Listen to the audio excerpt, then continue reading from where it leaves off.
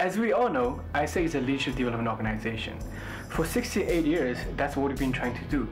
But did you know that in only in 2012 we really brought the clarity of leadership development back to the organization?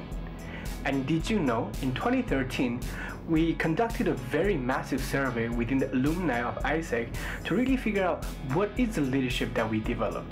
And by 2014, that's two years ago, we come up with the four leadership qualities that AIESEC developed. So if you want to find out more about AIESEC leadership development model, please check out the link below and then you'll find out everything about LDM.